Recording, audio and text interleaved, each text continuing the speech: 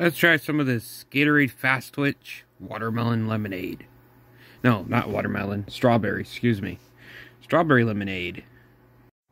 So I think this is about the last one I got to try of this Fast Twitch lineup from Gatorade. I basically tried all the other flavors. I think this might be the last one, or I might have just one more flavor to review. I'm gonna have to check back on my videos just to see, but um, I wasn't really pleased by this uh, lineup of Gatorade flavors. I just don't think it's every time Gatorade comes out with something new, new lineup or new flavors, it just sucks. To be honest, it just sucks. I don't know. It's just my opinion. Um, so.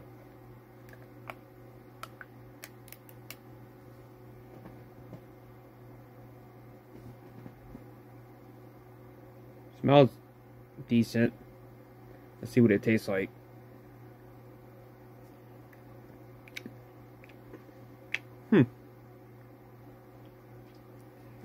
This actually might be the best one out of the lineup, actually.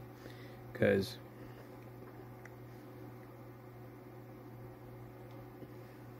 This is also energy drink, if you didn't know. It's an energy drink as well.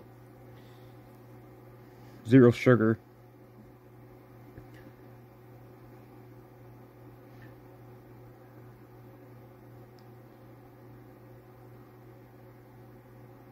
It's like 200 milligrams of caffeine in this, so.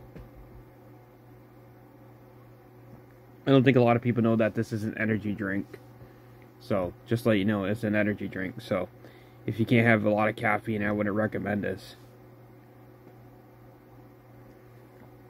If you're sensitive to caffeine or you can't have caffeine, I wouldn't recommend this.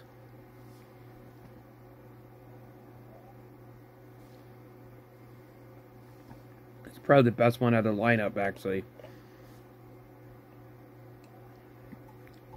All the other flavors were very mediocre. They were, like, not really that good. I think it might be because it's zero sugar, but it's also, I think it just has to do with Gatorade just seems to not do good with other lineups of their sodas, or their uh, drinks, I mean, not soda, drinks. So, honestly, I would have to say probably a 6 out of 10 on that, so peace.